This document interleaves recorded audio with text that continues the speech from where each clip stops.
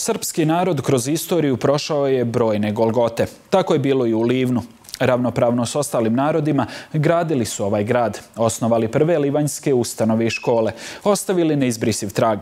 Umjesto priznanja, vijekovima su ubijani i proganjani. Danas su u Livnu na nivou statističke greške. Ipak sačuvana su svjedočanstva o njihovom značaju i slavnoj istoriji. Kako danas žive Srbi povratnici u Livnu i okolini, da li je njihova žrtva bila uzaludna i koju tajnu krije Livanjski hram uspenja presvete Bogorodice? Boris Anđić. Hram uspenja presvete Bogorodice u Livnu po mnogo čemu je specifičan. Izgrađen je 1859. godine i to u strogom centru grada, što je u vrijeme Otomanske imperije bila rijetkost.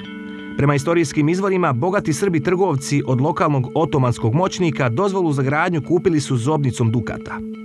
U strahu da će Turci promijeniti mišljenje, što se dešavalo nerijetko, hram su ozidali za nepunih mjesec. U to vrijeme nezamislivo kratkom roku. I već od sredine 19. vijeka ovaj hram svjedoči o srpskoj snazi, volji i postojanju na ovim prostorima. Hram i danas krije tajnu, za koju rijetki znaju. U njemu se nalazi riznica od 65 unikatnih ikona, izuzetno značajnih za cijeli hrišćanski svijet. Stvarane su u periodu od 15. do 19. vijeka, a stvarali su ih srpski, makedonski, grčki, kritski i ruski ikonopisci. Crkvi su ih poklanjali bogati srpski livanjski trgovci. Mi se možemo pohvaliti sa četiri takozvana Jerusalima, to su hađijske ikone koje se dobijale odlaskom u svetu zemlju, znači imali smo živi hađiluk, iz ovoga mjesta su često odlazili bogati trgovci u Jerusalim da se poklone Hristovome grobu i donosili su te ikone koje su darivali riznici ove svete crkve. Čovjek dolazeći ne bi ni pomislio da sada livno krije tako jednu bogatu riznicu ikona koja, evo vidjeli ste da smo još u izgradnji pa još nismo stigli da prezentujemo to svoje bogatstvo kulturno i istorijsko. Osim ikona, hram raspolaže i bibliotekom od neprocjenjive istorijske vrijednosti, sa zapisima iz 18. i 19. vijeka. U njima su, čak i za vrijeme otomanske vladavine i stalnog zatiranja srpskog jezika i kulture, oprezno i brižno bilježene važne pojedinosti o Srbima ovog kraja. One su značajne jer su mudri sveštenici u to vrijeme, želeći da potomcima prenesu neke bitne istorijske informacije, vodili tajne zapise u tim bogoslužbenim knjigama. Pa recimo kada otvorimo evanđelje na nekoj stranici, sitno je ispisan neki događaj, evo primjera radi, e, za vrijeme Turaka piše Agarjani su posjekli Luku Kujundžića i Petra Čvrku Hrvata koji su zajedno tada dizali ljude na ustanak protiv Turaka. Da bi kasnije, nažalost, tim događajima opet u te iste knjige dolazili zapisi kako se opet neka druga zla dešavala u drugom svjetskom ratu, kad je narod odveden na pokolj. Sve ove relikvije iz Livanjskog hrama, uključujući ikone i knjige, tokom proteklog rata spasene su samo zahvaljujući herojskom činu livanjskog fratra Marka Gela, koji ih je sklonio, čuvao u samostanu Gorica i vratio pravoslavnoj crkvi 2001. godine. A upravo u ovim starim crkvenim knjigama zapisana su svjedočanstva iz vremena o kojima više nema ko da svjedoči.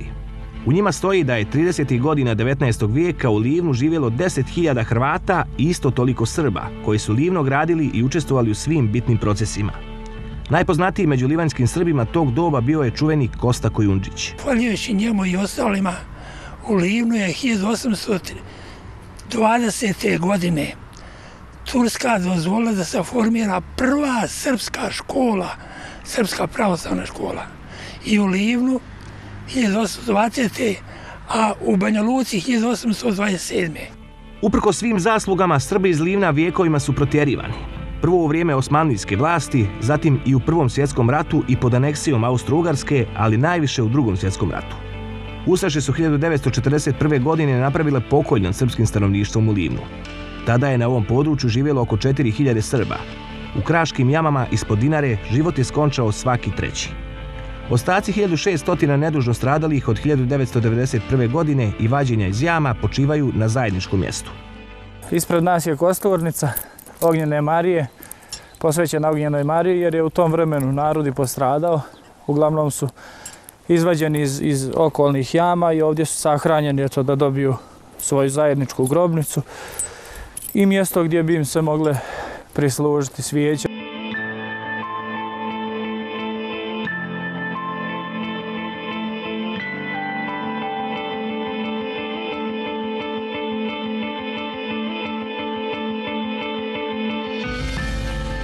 Ovdje je ta zajednička grobnica. Oko 600 je djece, ostalo su pretežno žene i nešto staraca. Ovdje su njihova imena, uglavnom starost koliko su imali u momentu smrti, evo imamo tek rođenih. I kada su se napokon oporavili od svih tih tragedija, došao je posljednji rat. I Srbi iz Livna ponovo su protjerani. Na vjekovna ognjišta nakon rata vratila ih se tek nekolicina. Danas ovdje živi oko dvije stotine Srba. U osnovnoj školi je sedmoro srpske djece, toliko i u srednjoj. Uče pravoslavnu vjeronauku, a uz pomoć crkve organizovana im je i škola srpskog jezika. Problema sa stanovništvom drugih nacionalnosti nemaju. Svako je, kažu, zabavljen o svom jadu. Međutim, najveća i jedina istina je, kao i vijekovima unazad, upisana u crkvenim matičnim knjigama. Mislim da, je, e, da nije bilo posle prošlog rata, nije niko vjenčan. Nažalost. Krštenja je bilo nekoliko, čak je bilo nekih starijih ljudi koji su odlučili da ponovo pristupe vjeri i tako dalje.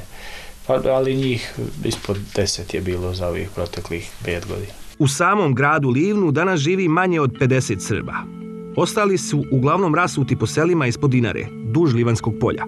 U prelijepom prirodnom okruženju, ispod troglava najvišeg vrha planine Dinare, nalaze se četiri srpska sela. Gubin, Sajković, Provo i Čaprazlije. U sva četiri ova sela danas živi tek 25 stanovnika. Prije rata ovdje ih je bilo 500.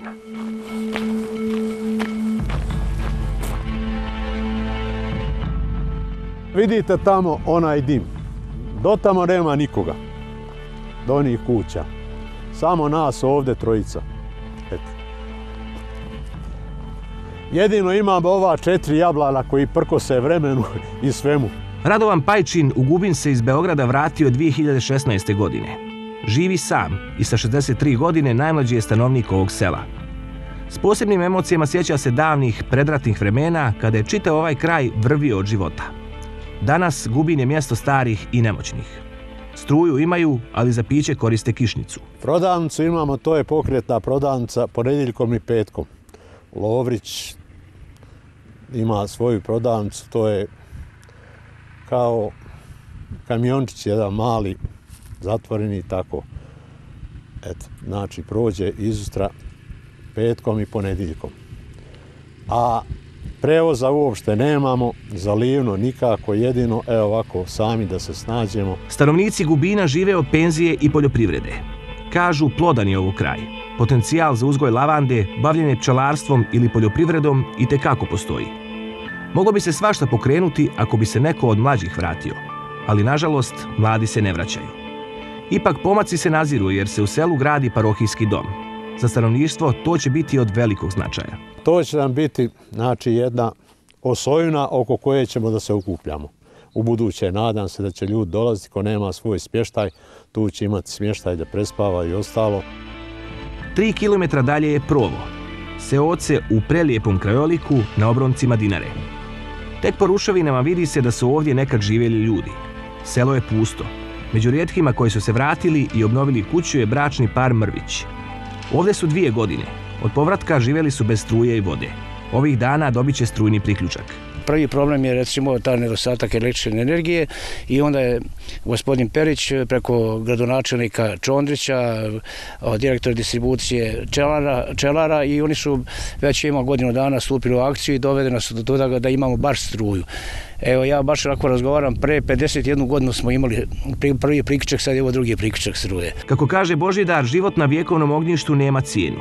Povratak nikad nije dovodio u pitanje. Nada se i da će se kad tad stvoriti uslovi da se vrati još neko, da ovaj kraj oživi. Osnovne elementarne stvari, znači e, prevoz, zdravstvo, ovaj, evo sad recimo, ajde, taj voda, voda individualno se rešava na svoj način, ali to nije zdrava voda, to je, znači, onda druga stvar, da tu imaju neki, neki zdravdušni oblik ovaj, udruživanja ljudi, da se može otkup napraviti. Život jeste težak, ali na svom kućištu, kakav god da je podnošljivije, pričaju povratnici. Prokleto lijevno, često je citiran motiv iz starog Vujadina, jedne od najpoznatijih epskih narodnih pjesama. Međutim, niti je livno prokleto, niti su prokleti ljudi, ističu Srbi povratnici. Istina je da se na ovaj kraj često navale prokleta vremena. Svi mi neka zamišljamo kako bi to bilo da nije došlo do tih stradanja i ratova. I mislim da pojedinac nikada nije kriv koliko je ta neka ideologija koja ljude posvađa, pa odjednom od komšija, saradnika postanu neprijatelji koji moraju da se ne vole, da, da Nažalost, evo, mi se nadamo da su ta vremena prošla, da, da sada dolazi jedan period gdje se narod opametio sa sve tri strane. Tako se i livanjski Srbi nadaju da su loša vremena iza njih. Uliva im nadu činjenica da sa komšijama dijele i dobro i zlo. Nadaju se i pomoći Srpske i Srbije da se u prelijepi, živopisni i turbulentnom istorijom protkani kraj vrati život. Malo ih je, ali ne gube nadu u bolje sutra. Vjeruju da će se u livanskim crkvenim knjigama možda ponovo bilježiti rođenja, krštenja i vjenčanja. Kažu, sunce u rodnom kraju ipak najtoplije grije. Obično ko je god normalan, on se svoga porijekla i svoje imovine, djedovine ne odriče. To je barem kod vas tradicija taka.